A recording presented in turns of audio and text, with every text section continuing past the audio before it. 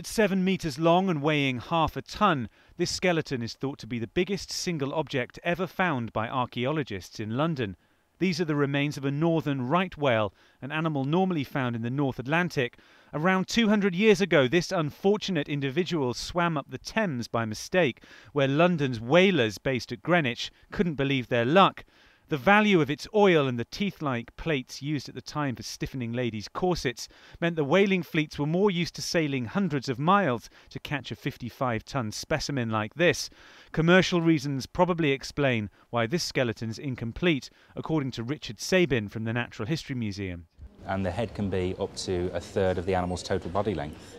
Um, we believe that the head was actually taken away probably at the time that the animal would have been defleshed um, the likelihood is that the, the, the, commercial value of the oils and the whalebone plates in the animal's mouth was so high that the, the head was taken away for processing somewhere else. The skeleton was dug up in Greenwich and is on display at the Museum of London Docklands until September the 14th.